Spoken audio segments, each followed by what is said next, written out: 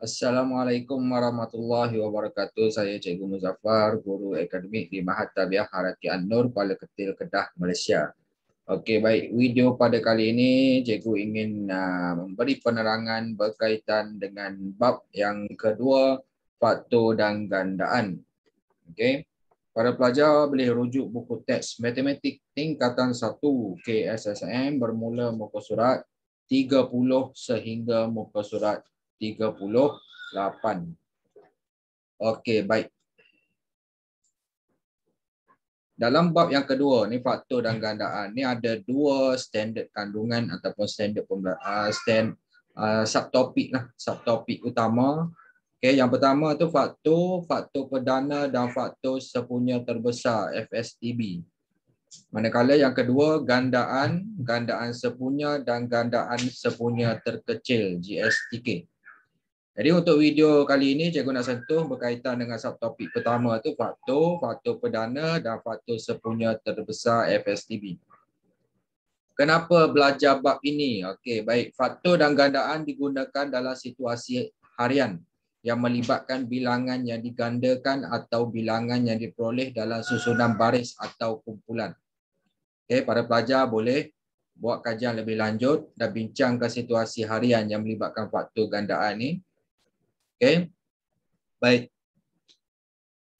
Dalam bab ini para pelajar akan uh, kata mengenal pasti beberapa apa jaringan kata ataupun perkataan-perkataan istilah-istilah yang berkaitan dengan topik ini iaitu faktor, faktor perdana, faktor sepunya, faktor sepunya terbesar, gandaan, gandaan sepunya, gandaan sepunya terkecil, pemfakturan perdana. Okay, kita akan sentuh satu persatu dalam bab ini. Baik, tanpa melengahkan masa lagi, kita terus pergi kepada subtopik 2.1, faktor-faktor perdana dan faktor sepunya terbesar. Okey, kita pergi pada standard pembelajaran. Yang pertama tu menentu dan menyenaraikan faktor bagi nombor bulat dan seterusnya membuat generalisasi tentang faktor. Apakah faktor? Okey, baik. Tengok aktiviti penerokaan satu ni. Tujuan mengenal pasti faktor suatu nombor. Okey. Langkah dia, salin dan lengkapkan petak-petak yang berikut. Okey, 12 bahagi 1 dapat 12. 12 bahagi 2 dapat 6. 12 bahagi 3 dapat 4. 12 bahagi 4 dapat 3. 12 bahagi 6 dapat Dua. Dua belas bagi dua belas dapat satu. Maka dua belas boleh dibahagi tepat dengan, okey, dia boleh bagi tepat dengan senarai nombor tadi lah. Kita tulis balik. Satu. Dua. Tiga. Empat. Okey, lima tak boleh. Enam. Okey, dan juga dua belas. Jadi, yang kedua tu dia kata terangkan kesimpulan yang, yang dibuat. Jadi kesimpulannya yang tu lah Okey. 12 boleh dibahagi tepat dengan 1, 2, 3, 4, 6, 12. Hasil daripada aktiviti penerokaan satu di atas ni didapati bahawa suatu nombor boleh dibahagi tepat dengan sebilangan nombor tertentu. Misalnya 12 tadi tu boleh dibahagi tepat dengan 1, 2, 3, 4, 6 dan 12. Jadi nombor 1, 2, 3, 4, 6, 12 tu tadi disebut sebagai faktor bagi 12. Faktor bagi suatu nombor ialah nombor bulat yang boleh membahagi nombor itu dengan tepat. Okey. Ha. Jadi kita faham dah apa maksud faktor. Okey, kita pergi pada contoh. Contoh satu, tentukan sama ada A 12 ialah faktor bagi 36 atau bukan. B 9 ialah faktor bagi 30 atau bukan. Okey, penyelesaian dia sama seperti aktiviti penerokaan satu tadi ni. Okay, 36 bahagi dengan 12. Dapat tepat 3. Tak ada baki, tak ada apa. Maka 12 ialah faktor bagi 36. Manakala B ni, 30 tidak boleh dibahagi tepat dengan 9. Sebab kalau kita bahagi, dia akan dapat baki. Maka 9 bukan faktor bagi 30. Okay, selesai contoh satu. Contoh dua, senaraikan semua faktor bagi 18. Okey, 18 sama dengan 1 darab 18. Maka 1 dan 18 ialah faktor bagi 18. 18 juga sama dengan 2 darab 9. Maka 2 dan 9 ialah faktor bagi 18. 18 sama dengan 3 darab 6. Maka 3 dan 6 ialah faktor bagi 18. Jadi faktor bagi 18 ialah kita ambil balik dia punya ni nombor ni 1, 2, 3, 6, 9 dan 18. Okey, kalau kita tengok kat sini, tip dia satu ialah faktor bagi semua nombor. Tak kisah nombor apa pun, satu adalah faktor bagi semua nombor. Okey. Baik. Jadi untuk uh, para pelajar lebih mahir berkaitan dengan faktor ni, okey. Nak tahu dia faktor bagi satu nombor atau bukan, para pelajar boleh buat latih diri 2.1A ni. Muka surat 33. Jawapan boleh rujuk di bahagian belakang buku teks. Okey, baik. Kita masuk kepada subtopik yang kedua. Menentu dan menyenaraikan faktor perdana bagi suatu nombor bulat dan seterusnya mengungkapkan nombor tersebut dalam bentuk pemfaktoran perdana. Okey, apakah faktor perdana? Okey, faktor bagi 18 ialah 1, 2, 3, 6, 9, 18. Okey, sambungan kepada yang ni tadi. Okey, kita dah senaraikan tadi, sambungan dia. Antara faktor itu dua ialah dua dan tiga ialah nombor perdana. Okey, dua dan tiga itu nombor perdana. Maka dua dan tiga disebut sebagai faktor perdana bagi 18. Itu maksud dia faktor perdana. Maksudnya uh, dua dan tiga ni faktor pada 18. Pada masa yang sama, dua dan tiga itu nombor perdana. Jadi dua dan tiga itu faktor perdana kepada 18. Eh, itu cerita dia. Suatu nombor boleh diungkapkan dalam bentuk pemfaktoran perdana dengan keadaan nombor itu ditulis sebagai hasil darab faktor perdananya. Misalnya 18 sama dengan 2 darab 3 darab 3. Okay. Pemfaktoran perdana suatu nombor boleh dilakukan dengan pembahagian berulang dengan nombor perdana atau menggunakan kaedah pokok faktor. Okay. Nanti kita akan sentuh macam mana nak buat pokok faktor pun. Apa pembahagian berulang dan pokok faktor tu. Okey, baik. Kita tengok dulu contoh tiga, muka surat 33 ni. Tentukan sama ada nombor yang berikut ialah faktor perdana bagi 84 atau bukan. A2, B3, C5. Okey, cara dia sama seperti tadi. Okey, 84 tu bahagi dengan 2 dapat tepat 42. Okey. Maksudnya dua ni memang faktor bagi 84 lah. Dan dua tu ialah nombor perdana. Maka dua ialah faktor perdana bagi 84. B, 84 bahagi 3, kita dapat tepat 28. Pada masa yang sama, 3 ialah nombor perdana. Maka 3 ialah faktor perdana bagi 84. 84 bahagi 5. Okay, jawapan dia 16 baki 4. Okay. Walaupun 5 ialah nombor perdana tetapi 84 tadi tu tidak boleh dibahagi tepat dengan 5 dapat baki tadi kan. Maka 5 bukan faktor perdana bagi 84. Itu cerita dia. Okey baik. Faham eh? Selesai. Kita pergi kepada muka surat 34. Okey. Senaraikan semua faktor perdana bagi 72. Okey, cara dia sama mula-mula kita senaraikan dulu semua faktor bagi 72 iaitu 1, 2, 3, 4, 6, 8, 9, 12, 18, 24, 36, 72. Okay. Lepas tu yang keduanya kita kena pasti faktor perdana daripada senarai faktor itu iaitu nombor perdananya ialah 2 dan 3. Okey, maka faktor perdana bagi 72 ialah 2 dan Tiga. Okey, selesai contoh empat. Okey, contoh lima ni. Ha, ini dia nak tunjuk bagaimana dua kaedah digunakan untuk kita nak kena pas kita nak buat um, pemfaktoran tu. Okey, pemfaktoran perdana. Okey, pemfaktoran perdana. Ungkapkan 60 dalam bentuk pemfaktoran perdana. Okey, baik. Ada dua kaedah Kaedah yang pertama, pembahagian berulang. Okey, mula-mula 20 bahagi dengan 2. Okey, nombor perdana. 60 bagi 2 dapat 30. 30 bahagi 2 dapat 15. 15 bahagi 3, okey, 15 tak boleh nak bagi dengan 2, jadi dia kena bagi dengan 3, dapat 5. Okey, 5 nak bagi 2 tak boleh, 5 bagi 3 tak boleh, 5 bahagi 5 dapat 1. 2, 3, 5 ni adalah nombor perdana. Jadi kita baca daripada atas, maka 60 sama dengan 2 darab 2 darab 3 darab 5. Okey. Kita bahagi pendaraban berulang tu sehingga hasil hasil bahagi itu menjadi satu. Dah tak boleh nak bagi dah. Okey. Baik. Yang kedua kaedah pokok faktor. Okey, 60 Okey, kalau kita faktorkan dia, kita dapat kata yang pertama 4 darab 15 sebab 4 adalah faktor kepada 60, 15 pun faktor pada 60. Okey, 4 ni bukan nombor perdana. Jadi kita kena pecahkan lagi kepada faktor perdana. Okey, 4 sama dengan 2 darab 2, okey.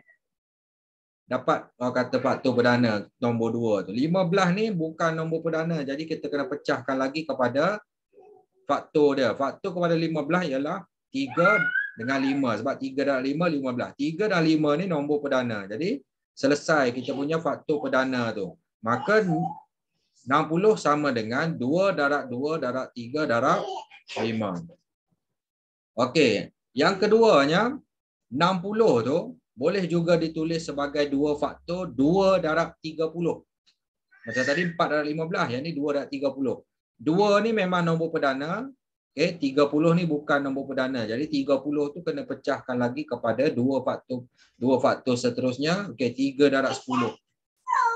Okay, sebab faktor perdana bagi 30 adalah 3.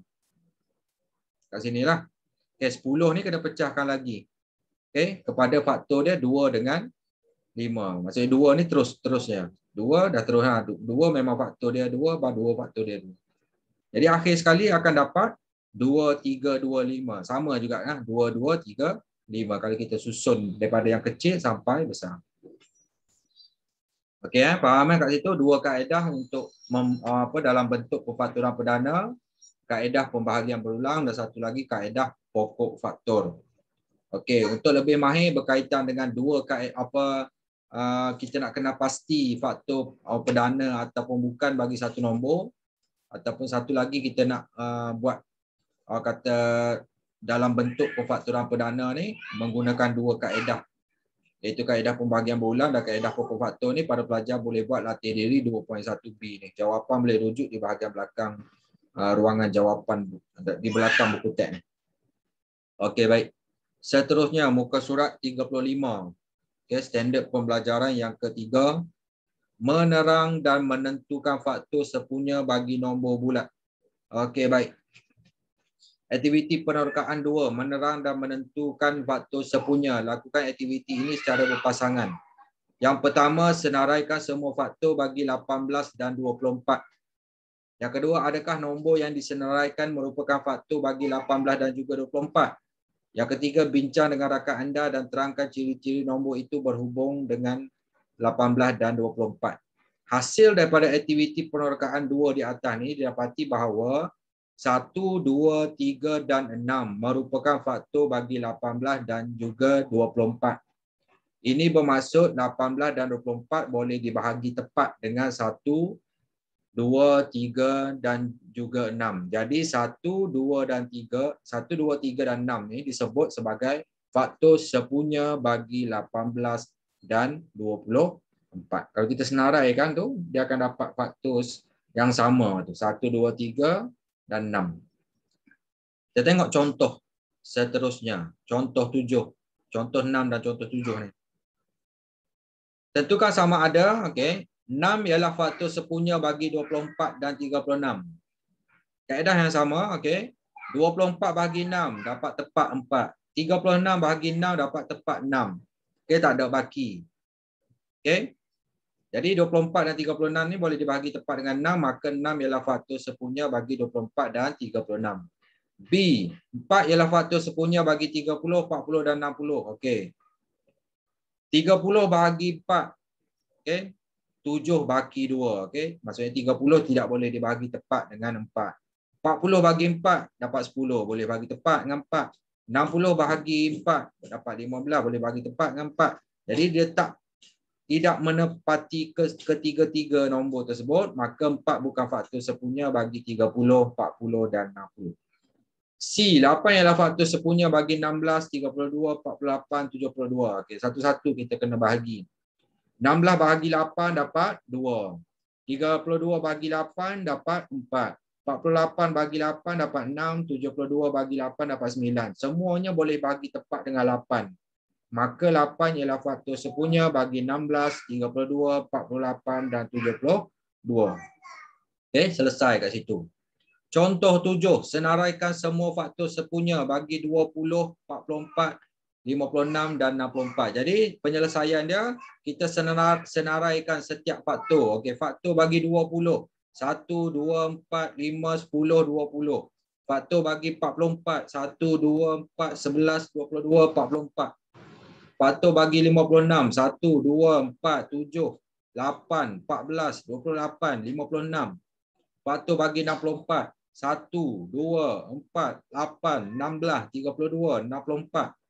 Jadi kita tengok kat sini yang mana yang sama. Iaitu 1, 2, 4. Maka faktor sepunya bagi 20, 44, 56, 64. Okay. Ialah 2, ialah 1, 2 dan 4. Okay. Selesai untuk contoh tujuh. Okay, masuk kepada muka surat 36. Okay. Kat sini cikgu galakkan pada pelajar buat latih diri 2.1C tu. Okay. Di mana soalan dia, dia kita nak tentukan sama ada nombor tersebut ialah faktor sepunya bagi senarai nombor dalam kurungan tu. Dan juga senaraikan semua faktor sepunya bagi setiap uh, nombor yang diberikan. Lah. Okay, baik. Kita pergi kepada standard pembelajaran yang keempat.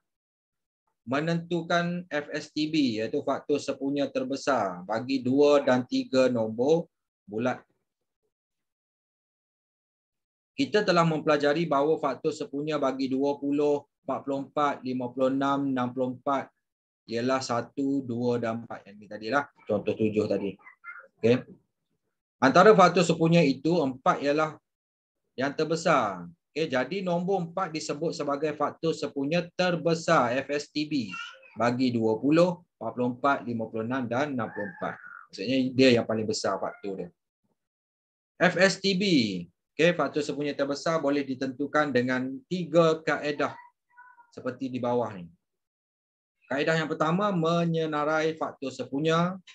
Yang kedua pembahagian berulang. Yang ketiga pemfakturan perdana. Okay, baik, kita tengok contoh 8. Tentukan faktor sepunya terbesar bagi okay, A 18 dan 24. Okay, kita tengok A. A ni dia guna kaedah menyenarai faktor sepunya. Okay, kaedah dia sama seperti yang kita kita dah terangkan tadi. Mula-mula dia senaraikan dulu faktor bagi 18 iaitu 1, 2, 3, 6, 9, 18. Lepas tu faktor bagi 24, 1, 2, 3, 4, 6, 8, 12, 24. Jadi kita bulatkan yang mana yang sama iaitu satu, dua, tiga, enam. Maka faktor sepunya bagi 18 dan 24 ialah satu, dua, tiga dan enam. Lepas tu, FSTB dia bagi 18 dan 24 ni kita tengok faktor yang paling besar yang sepunya ialah 6. Okey, selesai. Untuk A, menggunakan kaedah menyenarai faktor sepunya. B, 36, 60, 72. Kita gunakan kaedah yang kedua tu, pembahagian berulang. Okey, dia dia buat pembahagian berulang macam ni. 36, 60, 72 bahagi dengan 2. 36 bahagi 2 dapat 18. 60 bahagi 2 dapat 30. 72 bahagi 2 dapat 36. Okey, lepas tu bahagi lagi dengan 2. 18 bahagi 2 dapat 9. 30 bahagi 2 dapat 15. 36 bahagi 2 dapat 18. Okey, 9, 15, 18 tak boleh nak bagi tepat dengan 2. Jadi kena bahagi dengan 3. Okey, sebab dia boleh bagi tepat dengan 3. 9 bahagi 3 dapat 3. 15 bagi 3 dapat 5, 18 bagi 3 dapat 6. 3, 5, 6 tak boleh bagi tepat dengan sebarang nombor perdana lah. Okay. Maksudnya tak boleh bagi dengan 2, tak boleh dengan 3, 4, 5 dah tak boleh lah. Jadi tinggal baki yang ni. Okay. Jadi kita baca kata dia punya uh, faktor tadi tu. Okay, 2, 2, 3. Maka FSTB bagi 36, 60 dan 72 ialah 2 darab 2 darab 3. Itu 12. Okay, kita darabkan semua ni. Kita baca daripada atas. 2 darab 2 darab 3, 12. Jadi 12 adalah faktor bagi ketiga-tiga nombor tersebut. Okay, itu cara kita nak tentukan FSTB. C 48 64 80 kita menggunakan kaedah pemfaktoran perdana. Okey cara dia sama cuma kita buat dalam bentuk pendaraban ber, uh, kata pendaraban berulang. 48 pendaraban berulang nombor perdana itu dipanggil kaedah pemfaktoran perdana. Jadi 48 sama dengan 2 darab 2 darab 2 darab 2 darab 3. Okey 2 dengan 3 tu nombor perdana. 64 sama dengan 2 darab 2 darab 2 darab 2 darab 2 darab 2. 80 sama dengan 2 darab 2 darab 2 darab 2 darab dengan 5. Okey. Kat sini. Maka FSTB faktor semuanya terbesar bagi 48, 64 dan 80 ialah 2 darab 2 darab 2 darab 2 dapat 16. Maksudnya dia tengok yang mana yang yang orang kata yang sama. Selagi dia sama katakan sini satu dua kali yang pertama sama, kali kedua sama, kali ketiga sama, kali keempat sama. Masuk yang kali kelima ni ketiga-tiga ni dah dah tak sama jadi dia berhenti kat situ kita ambil yang empat yang sama saja. Jadi dua dah dua dah dua dah dua dapat belas. okey itu cara dia. Bagaimana kita nak menentukan faktor sepunya terbesar bagi sesuatu nombor lah. Dua nombor ke tiga nombor empat nombor ke cara yang sama lah. Okey baik. Jadi pada muka surat 37 tu menggunakan tiga kaedah yang kita dah belajar tadi. Cari faktor sepunya terbesar bagi setiap senarai nombor yang yang di yang berikut lah. Jadi para pelajar boleh rujuk jawapan di belakang buku teks. Okey, seterusnya standard pembelajaran yang ke lima, okey, yang terakhir lah untuk satu topik ha, 2.1 ni. Okey. Menyelesaikan masalah yang melibatkan faktor sepunya terbesar FSTB. Okey, baik. Pasukan pengakap di sebuah sekolah mengadakan satu aktiviti kerja amal sebanyak 252 helai baju, 180 helai seluar, 108 pasang stoking telah diderma oleh ahli-ahli untuk diberikan kepada rumah anak yatim. Semua barang itu dibahagikan sama rata dalam setiap bungkusan.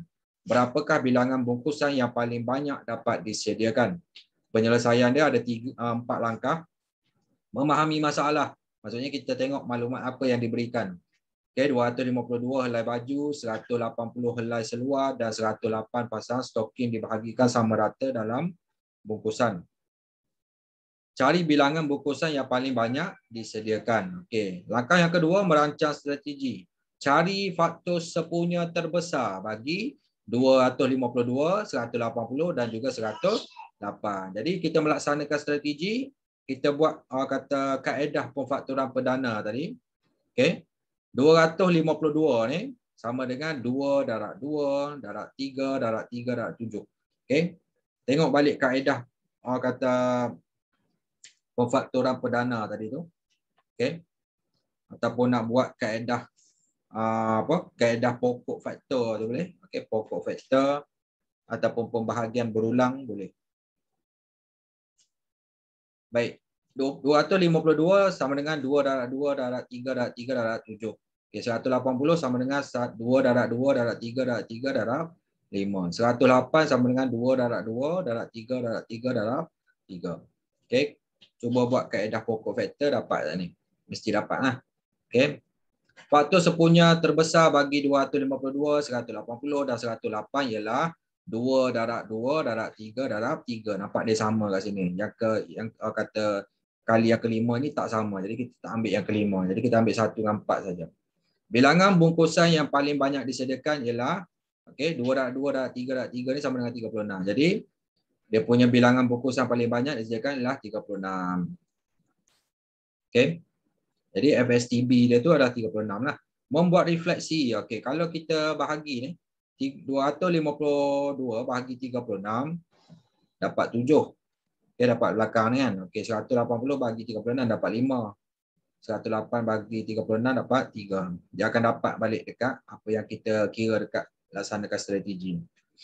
Okey, selesai kat situ. Jadi untuk uh, soalan yang melibatkan penyelesaian masalah yang melibatkan faktor sepunya terbesar ni, para pelajar boleh buat latih diri 2.1E ni. Okay, muka surat 37 dan juga sambungan dia tu mahir diri 2.1 tu untuk keseluruhan bab subtopik 2.1 ni para pelajar boleh buat bermula muka surat 37 dan sedikit di muka surat 38. Okey, itu saja penerangan cikgu berkaitan dengan subtopik 2.1 faktor, faktor perdana dan faktor sepunya terbesar di bawah bab yang kedua ni faktor dan gandaan di bawah subjek matematik tingkatan 1 KSSM. Semoga bermanfaat. Okey. Itu saja daripada cikgu. Assalamualaikum warahmatullahi wabarakatuh. Terima kasih.